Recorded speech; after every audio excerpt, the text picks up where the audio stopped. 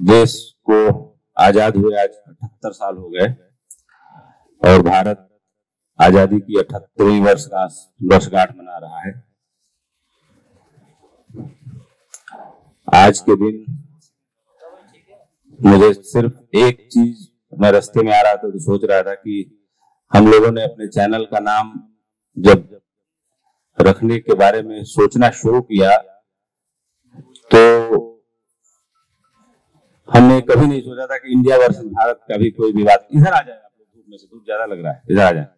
Bharat express मुझे लग रहा है कि अपनी स्थापना के बाद दूसरी स्वतंत्रता दिवस की वर्षगांठ मना रहा है।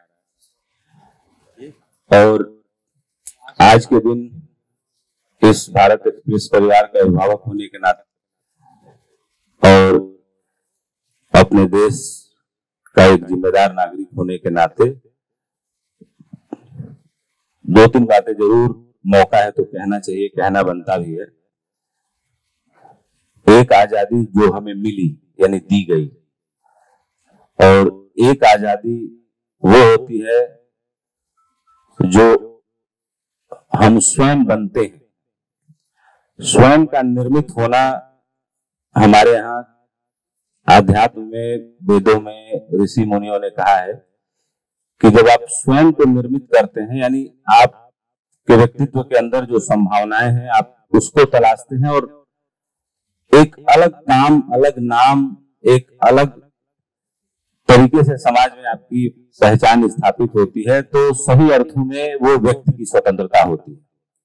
देश को तो स्वतंत्रता ज़रूर मिल गई, लेकिन आज उनतीस साल से लेके चालीस साल के बीच करीब पैंसठ फ़ीसदी आबादी हमारी है, लेकिन कहीं ना कहीं जो व्यक्तित्व निर्माण की दिशा में काम होना चाहिए हमारे देश में, वो हुआ इसी देश में सबसे ज़्यादा, सबसे बड़े पैमाने पर पूरी दुनिया ने फॉलो किया भारत को। लेकिन जिसको देख के, जिसको जान के पूरी दुनिया में कुछ देशों ने बहुत तरक्की की। और तरक्की की दिशा में हमसे भी आगे निकल गए। लेकिन हम क्यों पीछे छूट गए? इस दिशा में जब मैं तलाशता हूँ तो इसके पीछे सिर्फ़ एक ही कारण है कि करीब करीब 2000 साल तक भारत लगातार आक्रमण झेलता रहा और गुलाम रहा। और गुलाम रहने के कारण हमारे डीएनए में, हमारे अंदर बहुत गहरे में डर और गुलामी, ये दो चीज़ें हैं। जो बैठ गई और मुक्त आदमी कब होता है? मुक्त न तो संसाधनों से होता है, न तो दूसरे के द्वारा दिए गए ज्ञान से होता है। इस मानवता के पथ पे चलने वाले पूरी दुनिया में जिन्होंने एक अलग मुकाम स्थान बनाया, वो भारत के ही नहीं, दुनिया के और भी देशों में, पूरे ग्लोब में अलग अलग देशों के जो लोग हैं, उन्होंने सिर्फ़ मुक्ति के मार्ग में एक ही चीज़ सबने एक ही कॉमन बात कही। और वो सब कॉमन बात क्या थी? कि अपने ज्ञान को उपलब्ध हो जाना। यानी वो जो बनने के लिए आए थे, उसको उन्होंने पा लिया। हम लोग भी किसी संस्थान के लिए काम करते हैं, परिवार के लिए काम करते हैं, दोस्तों के लिए काम आते हैं, मित्रों के काम आते हैं। यानी मित्रता और शत्रुता की परिभाषा अगर की जाए आज के दिन तो मैं ये कहूँगा कि आप स्वयं के भी मित्र होते हैं, स्वयं के भी शत्रु होते हैं, स्वयं के मित्र तब होते हैं जब आप ऐसा करते हैं कि आपके करने से आपके आसपास अगल बगल परिवार माता पिता पत्नी, बच्चों के जीवन में सुख आता है। और अगर आप कुछ ऐसा करते हैं जिससे सबके जीवन में दुख आता है तो आप शत्रु हैं और कुछ ऐसा करते हैं जिससे सबके जीवन में सुख आता है तो आप मित्र हैं। फिर स्वयं के भी मित्र हैं, समाज के भी मित्र हैं, यानी सबके मित्र हैं आप। आपके अंदर मैत्री है। और अगर आप ऐसा करने में समर्थ नहीं है तो आप ये समझिए कि आपके अंदर मैत्री नहीं और कोई भी एक छोटा सा कदम आपको अंतिम सीढ़ी तक पहुँचा सकता है। साधन क्या है, साध्य क्या है, ये बहुत महत्वपूर्ण नहीं है। आप जहाज़ में बैठ के जाना चाहते हैं तो थोड़ा जल्दी पहुँच जाएँगे, लेकिन भौगोलिक जगहों पर पहुँचना,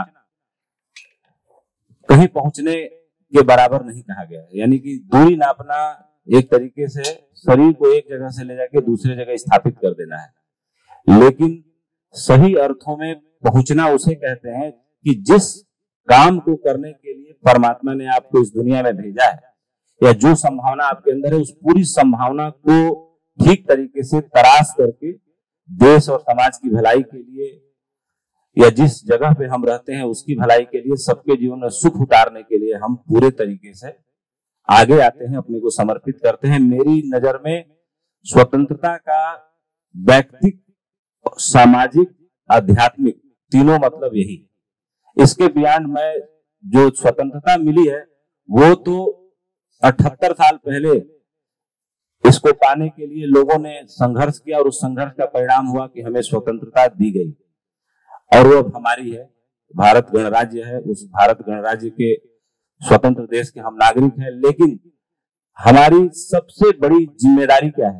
एक ज़िम्मेदारी है देश के प्रति, समाज के प्रति या परिवार के प्रति भी। जैसे कहा जाता है कि प्रथम इकाई परिवार है, फिर समाज है, फिर देश है, या पहले देश है, फिर समाज है, फिर परिवार है। अगर देश के परिप्रेक्ष्य में देखा जाए तो राष्ट्र प्रथम की भावना हमेशा फ्रीडम फाइटर्स ने भी दी और हमको जन्मजात ये सिखाया जाता है। हालाँकि नागरिकता की पहली पाठशाला हमारी, हमारा परिवार ही होता है। लेकिन नागरिकता की पहली पाठशाला में भी हमें यही सिखाया जाता है कि जिस देश जाति में जन्म लिया, बलिदान उसी पर हो जावे।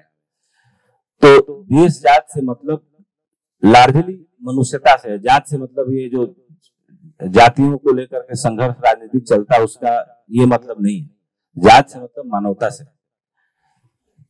तो आज के दिन पता नहीं क्यों मेरा थोड़ा गला भी खराब है और गर्मी बहुत ज़्यादा है तो मैं आज बिल्कुल समय नहीं लूँगा। आज आप लोगों के बीच मेरी श्रीमती जी डॉक्टर रचना जी भी आई हैं पेशे से प्रोफेसर हैं और इन्होंने मेरे दोनों बच्चों को बहुत अच्छा संस्कार दिया। एक्स्ट्रा करिकुलम एक्टिविटी में दोनों बहुत अच्छा करते हैं कर रहे हैं। तो इन लोगों का मन है कि स्वतंत्रता दिवस पे गीत गाने का तो हम भी सुनते हैं, आप लोग भी सुनिए।